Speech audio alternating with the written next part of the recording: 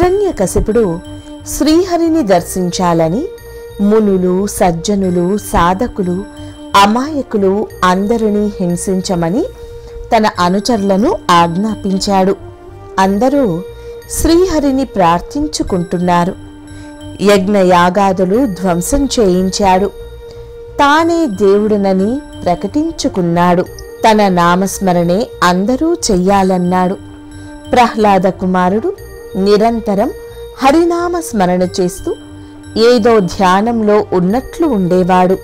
కొంచెం పెద్దవాడయ్యాడు. తండ్రి గురుకులంలో చేర్చి విద్యాభ్యాసం చేయించమని గురువులను కోరాడు. ఇంద్రాది దేవతలు హిరణ్యకశిపుని ఆగడాలను శ్రీహరికి విన్నపించి సజ్జనులను దేవతలను రక్షించమని కోరుకున్నారు. శ్రీహరి వారికి అభయమిచ్చి సమయము కొరకు వేచి ఉన్నానని కొంతకాలం వేచి ఉండమని సలహా ఇచ్చాడు.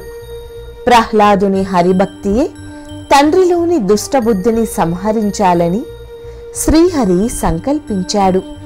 ప్రహ్లాదుడు నిరంతరం తాను నారాయణుణ్ణి స్మరించడమే కాక సర్వత్రా నారాయణుని దర్శనం పొందుతున్నాడు.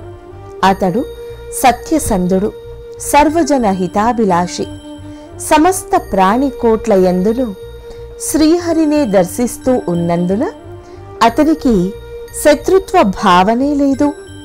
గురుజనుల యందు భక్తి ప్రపత్తులు కలిగి ఉండేవాడు. కాని వారు నేర్పునట్లు హిరణ్యకశిపుని నామస్మరణమును మాత్రం నిరసించేవాడు. అంతేకాక తోటి విద్యార్థులకు కూడా శ్రీమన్నారాయణుని మహిమను తెలిపి వారితో నారాయణ నామస్మరణము చేయించేవాడు. గురువులు చేయునది లేక ప్రహ్లాదుణ్ణి తండ్రికి అప్పగించి అతని స్థితి మార్చుట తమ శక్యం కాదని తెలిపారు. తండ్రి శతవిధాల అతణ్ణి దైవభక్తి నుండి దూరం చేయాలని ప్రయత్నించాడు. ఈ హరిభక్తి నీకెవరు నేర్పించారని ప్రశ్నించాడు. ప్రహ్లాదుడు ఎవరూ నేర్పలేదు. అది నా స్వాభావికమన్నాడు. జనులు ఇంద్రియ సుఖములను ఆశించి మృగతృష్ణలో నీరు త్రాగుటకు పోవునట్లు పోయి నిరాశ పొందుతున్నారు. జనన మరణ సంసార చక్రమున పడి జీవులు నలిగిపోతున్నారే కాని శ్రీహరి యొక్క పాదార విందములే ఈ సంసార సాగరమును తరింపచేయు. నావ వంటివని తెలియకున్నారు. స్వార్థము నిండి ఉన్న హృదయమున పరమార్థము గోచరించదు. తండ్రి శ్రీహరిని వినోదించుకొని నీవును అతనిని తలంచని క్షణము లేదు కదా. నేను ప్రేమతో స్మరించుచున్నాను. బుద్ధిమంతులైన వారు నాకు ఆదర్శమని తండ్రికి హితమును బోధించగా అతడు క్రుద్ధుడయ్యెను. హిరణ్యకశిపుడు రాక్షస గుణములతో విలసిల్లువాడు. బలాఢ్యుడు. అతని ఆజ్ఞ చెల్లవలసినదే. అతనికి కోపం తెప్పించే వాక్కులు పలికిన బాలుడైన ప్రహ్లాదుణ్ణి చంపివేయమని భటులను ఆదేశించాడు. భటులు శూలములు కత్తులు ధరించి ప్రహ్లాదుణ్ణి వ్యధశిలకు తీసుకొని పోయి వధించ ప్రయత్నించారు. ప్రహ్లాద కుమారుడు చిన్నవాడైనను శ్రీనారాయణ నామమును స్మరించుచు అట్లే ధ్యానమునందుండగా శ్రీహరి అనుగ్రహంతో వారి ఆయుధములు పూలమాలలై ప్రహ్లాదుని కంఠమును అలంకరించెను. వారు ఆశ్చర్యంతో ఈ విషయమును రాక్షసరాజుకు నివేదించారు. అతనికిని ఆశ్చర్యమే కలిగినది. ఆయుధములు నిర్వీర్యమైనవని తెలిసి ఆ బాలుణ్ణి ఏనుగుల చేత తొక్కించి చంపమని పంపాడు. ఆ బాల ప్రహ్లాదుణ్ణి చూచి ఏనుగులు దూరంగా పోయాయి. తదుపరి ఆ బాలుణ్ణి అగ్నిలో పడవేయమని ఆజ్ఞాపించాడు. ప్రహ్లాదుడు ధైర్యంగా అగ్నియందు ప్రవేశించాడు. అగ్ని మాయమైంది. తరువాత హిరణ్యకశిపుని ఆజ్ఞ ప్రకారం విషసర్పాల చేత కరిపించే ప్రయత్నం చేశారు.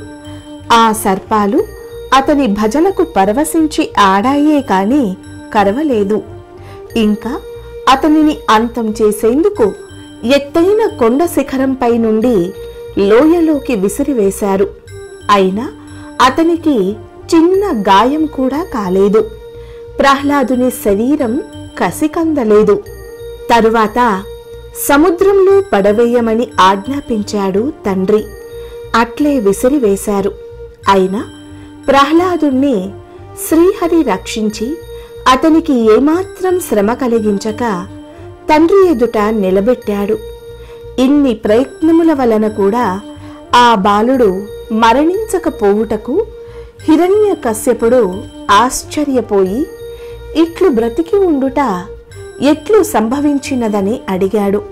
ఎందుకంటే తనకు చావు అంటే భయం కావునని చావులేని వరం పొందాలని తపస్సు చేశాడు. అయినా ఆ విధమైన వరం పొందలేకపోయాడు. ఇంత చిన్న బాలుడు ఏ తపస్సు చెయ్యలేదు ఇతనిని సంహరించేటందుకు తాను అసమర్థుడనయ్యానని చింతించాడు. తన వైరియగు విష్ణువు యొక్క నామస్మరణము మానుకొమ్మని బ్రతిమాలి చెప్పెను. శుకముని ఇలా చెప్పుచున్నారు. పరీక్షిన్ మహారాజా మానవులను ఎన్నో భయములు పీడించుచున్నవి. జీవితకాలంలో సగభాగం నిద్రకే పోవును. బాల్యము కౌమారము యవ్వనము వార్ధక్యము అని నాలుగు దశలలోనూ ఆయా సమయానుకూలమైన ఆలోచనలతో కాలము గడిచిపోవును. వార్ధక్యమున శరీరము బలహీనమై రోగగ్రస్తమగును. భగవత్ప్రాప్తికై చిన్న వయసు నుండి ప్రయత్నించి పొందవలనే కాని జీవిత చరమదశలో సాధించగలిగినదేమీ ఉండదు.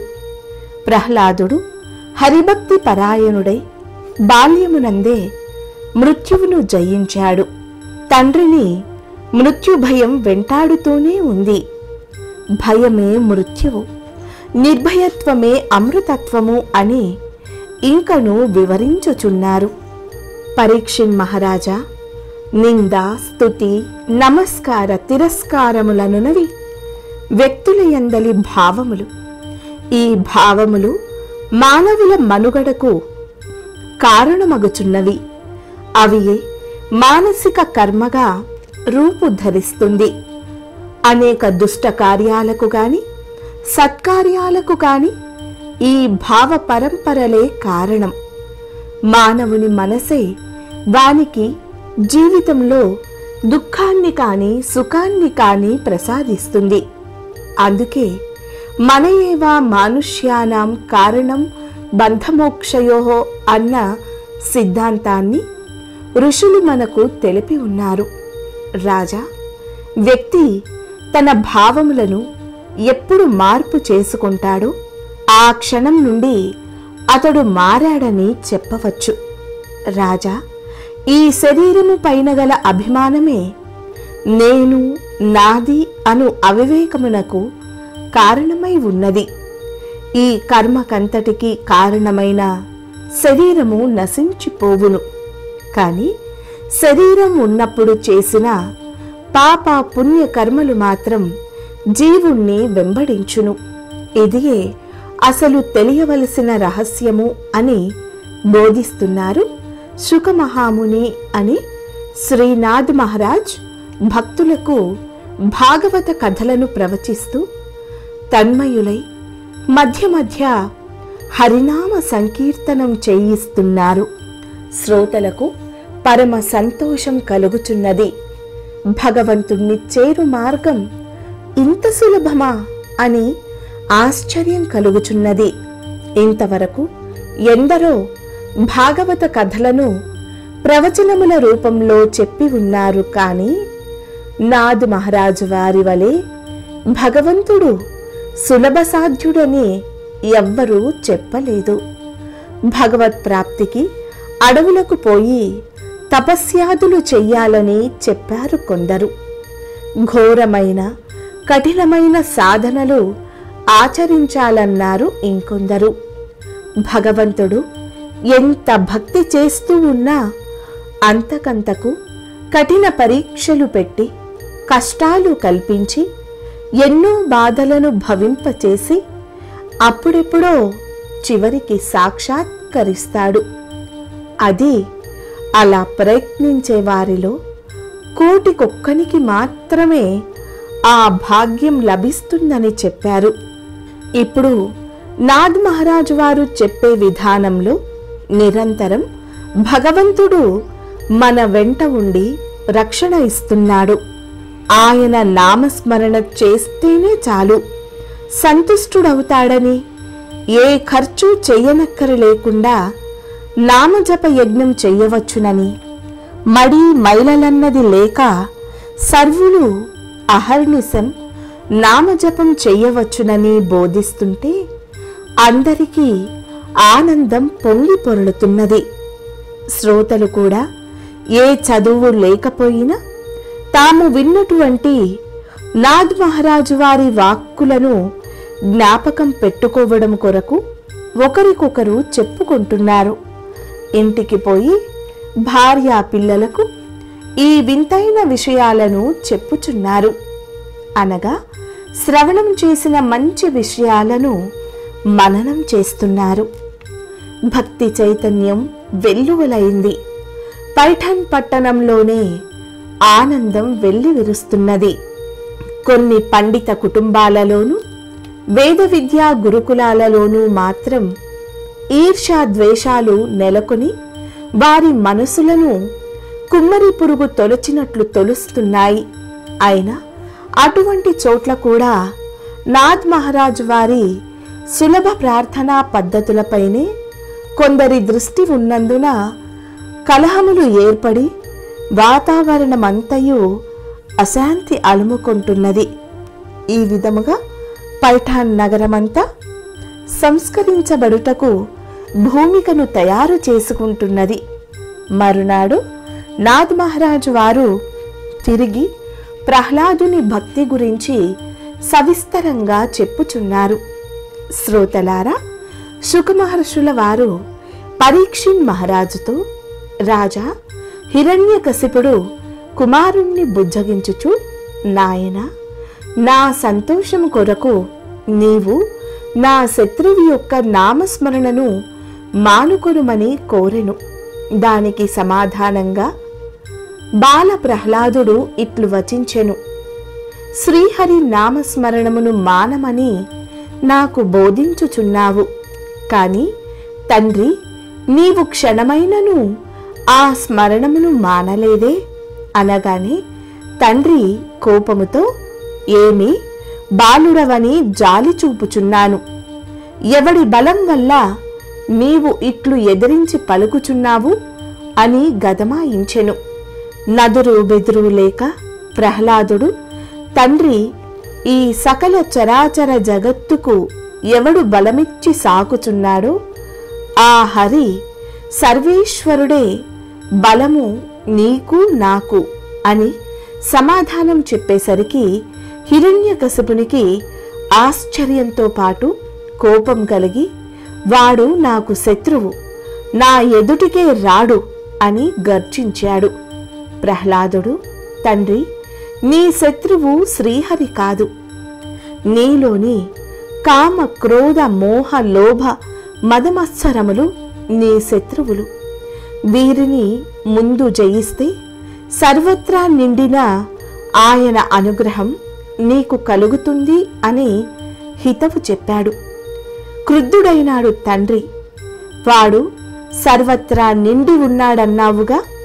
ఈ స్తంభమునందు ఉన్నాడా? అని బాల ప్రహ్లాదుణ్ణి ప్రశ్నించాడు. లక్షణంగా ఉన్నాడు అని సమాధానించాడు పుత్రుడు. కోపోద్దీపితుడైన హిరణ్యకశిపుడు తన గదతో బలంగా ఆ స్తంభాన్ని మోదగా అందు నుండి భయంకర శబ్దంతో దివ్య తేజస్సుతో కూడిన రూపమునందు అదో భాగము నరశరీరమును పైభాగము సింహరూపము కలిగిన శ్రీహరి హిరణ్య పైకి గర్జించుచూ ఉరికెను.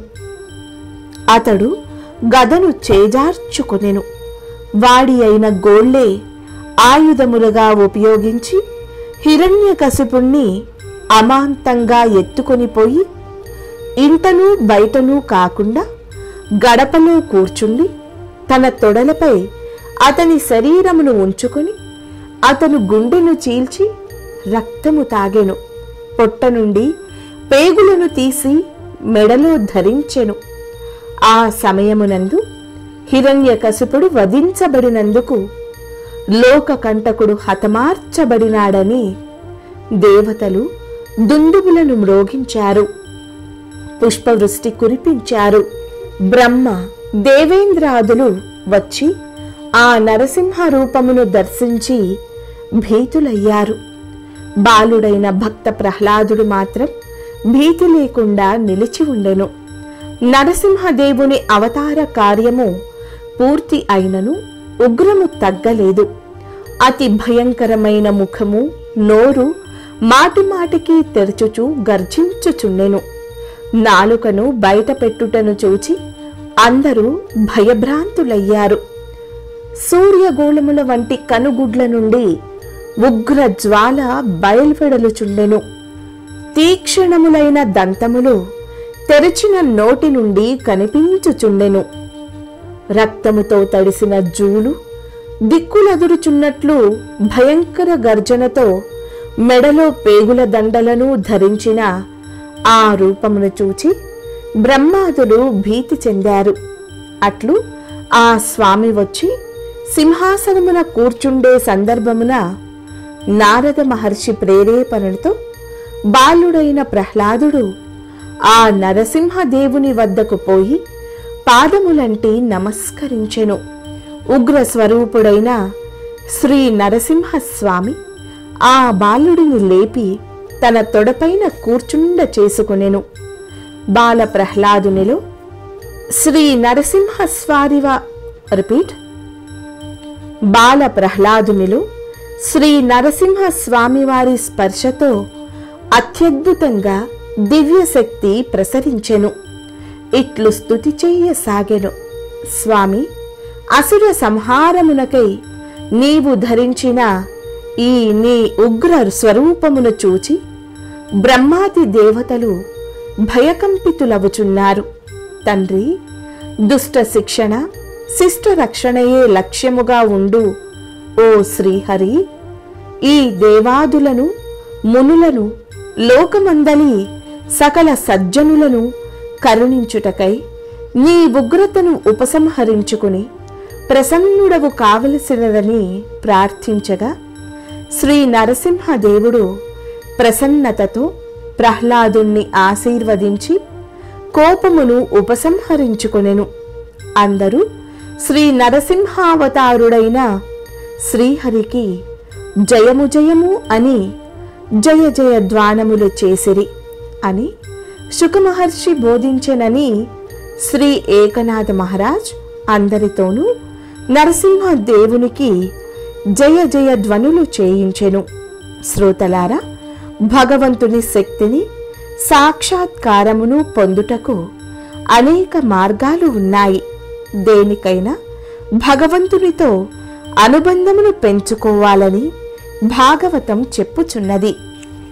వాత్సల్యంతో యశోద ప్రేమానుబంధముతో రాధ వైరానుబంధముతో కంసుడు హిరణ్యకశిపుడు మొదలగువారు ద్వేషానుబంధంతో శిశుపాలుడు సఖ్యానుబంధముతో అర్జునుడు ఆత్మానుబంధముతో గోపికలు భక్తి భావంతో ప్రహ్లాదాదులు భగవంతుణ్ణి సాక్షాత్కరింపచేసుకున్నారు.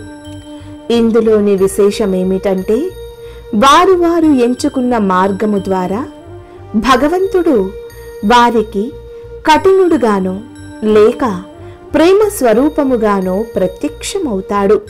ఇది అందరూ తెలుసుకోవలసిన ముఖ్యమైన రహస్యం అని బోధించగా శ్రోతలందరూ ముగ్ధులై జయ జయ ధ్వానములు చేసినారు. శ్రీకృష్ణాష్టమి వేడుకలలో నాలుగు రోజులు గడిచినవి. ఆ రోజు రాత్రికి పన్నెండు గంటల వేళ శ్రీకృష్ణ జననం సమయంలో సంకీర్తనలు చేయుటకు నిశ్చయించుకున్నారు.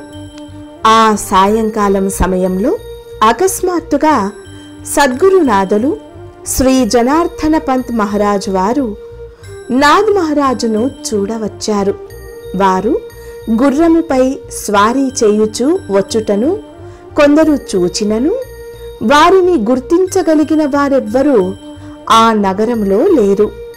సరాసరి నాథ్ మహారాజ్ వారి వద్దకు రాగా వారు ఆనందాశ్చర్యములతో ఎలుగెత్తి పంత్ మహారాజ్ వారికి జయము జయము అని ఘోషించారు. అచట చేరి ఉన్న భక్తజన సందోహంలో ఆనందం వెల్లివిరిసింది. శ్రీనాథ్ మహారాజు వారు జయ జయ ద్వానములు చేస్తూ అంత దూరము నుండే నేలపైన సాగిలపడి మొక్కి సద్గురు మహారాజ్కి జై అని నినాదములు చేస్తుంటే అందరూ శృతి కలిపి జయ జయ నాదాలు చేశారు. శ్రీ ఏకనాథుల వారు సద్గురుని చెంతకు పోయి చేయి అందించి గుర్రంపై నుండి కిందకు దింపిన తదుపరి గుర్రమును తానే స్వయంగా తీసుకొని పోయి ఒక చెట్టు కింద బంధించారు. దానితో చిరకాల పరిచయం ఉన్నది కావున మిత్రమా కుశలమా అని ప్రేమతో దాని వీపు నిమరగా ఆ గుర్రము ఎంతో మిత్రవాత్సల్యముతో అతని వంక చూచినది. శ్రీ ఏకనాథుల వారు వచ్చు లోపల గురుదేవులకు ఒక ఉచితాసనమును భక్తులు తెచ్చి వేశారు. శ్రీ జనార్దన పంత్ మహారాజు వారు చిరునవ్వులు చిందిస్తూ అందరినీ ఆశీర్వదించారు. ప్రియ శిష్యుడు పాదాలు పట్టి నమస్కరించి ఆనంద బాష్పాలు కార్చుచుండగా వారు అతని తలపైన చేయి నుంచి ఆశీర్వదిస్తూ శ్రీ దత్తస్వామి వారి ఆశయం సిద్ధించినట్లే భాగవత ప్రవచనములు చక్కగా సాగించుచున్నావుగా అన్నారు.